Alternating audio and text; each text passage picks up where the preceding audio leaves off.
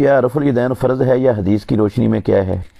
भाई जान, रसूल मुकर्रम सल्लल्लाहु अलैहि वसल्लम ने फरमाया, सल्लु कमारा इतोमूनी उसली उस तरह नमाज़ पढ़ो, जिस तरह मुझे मोहम्मद रसूल को नमाज़ पढ़ते हुए देखा है।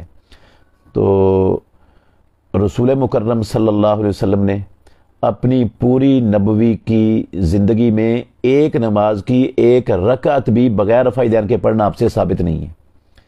तो अल्लाह के नबी वाली नमाज़ पढ़ने का हमें हुक्म है और अल्लाह के नबी वाली नमाज़ तो दैन वाली थी।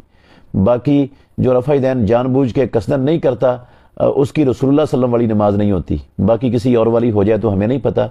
रसोल्ला सल्लम वाली नमाज़ जिसका आपने पढ़ने का हुक्म दिया है, वो नमाज़ नहीं होती।